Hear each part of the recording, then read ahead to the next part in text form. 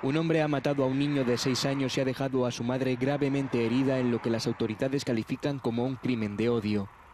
Las víctimas eran musulmanas y el agresor ha afirmado actuar en respuesta a la guerra entre Israel y Hamas.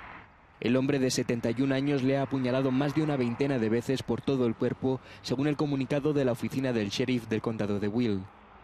El niño murió de camino al hospital al ser trasladado en condición crítica. La madre sufrió más de una docena de heridas y se encuentra en el hospital.